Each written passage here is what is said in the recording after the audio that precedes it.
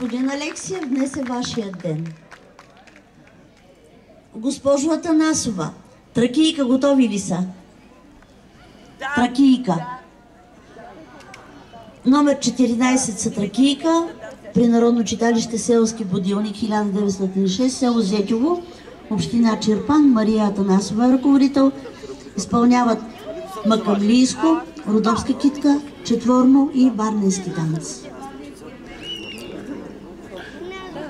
Няма нищо, няма барненски, така ли? Още по-добре. Да изпреварим дъжда, да изпреварим дъжда. Готови са момичетата, нали?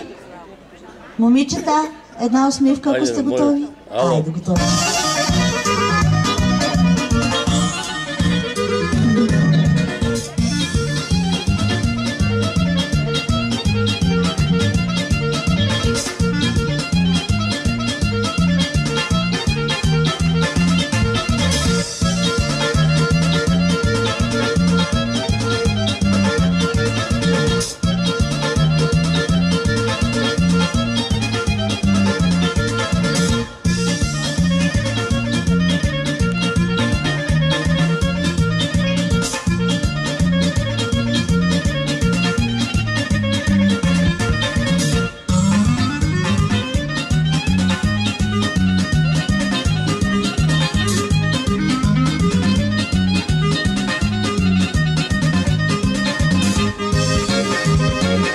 Música